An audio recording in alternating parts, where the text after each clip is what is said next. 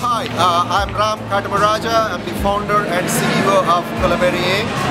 My co-founder Anand Dasari, CEO, is not here today. And meet Ali Muakil.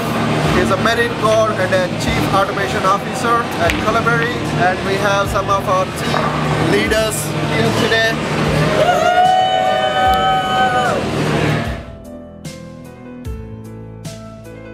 Seven years ago, when we started reskilling military veterans and people on the other side of the track, we quickly realized that their barriers to success are very different.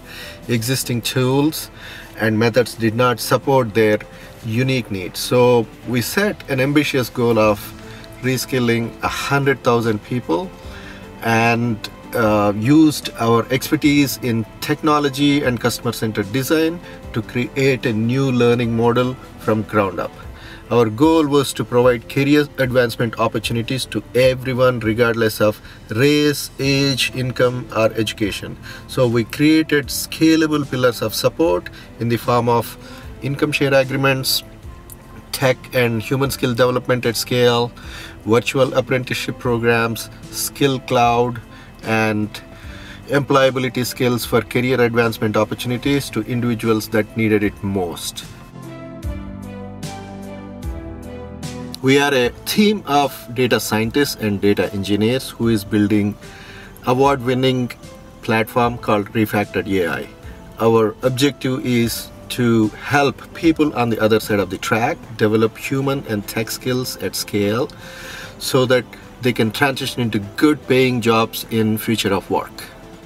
According to McKinsey, about 800 million jobs will be automated by 2030 and the impact will be felt by vulnerable populations mostly.